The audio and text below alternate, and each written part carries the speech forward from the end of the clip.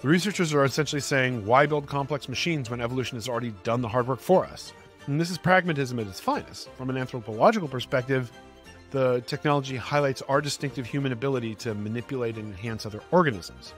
Only humans can turn cockroaches, creatures most of us find repulsive, into a valuable tool.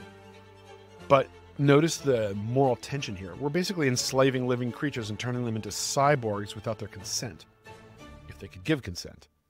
Is this fundamentally different from how we've used animals throughout history?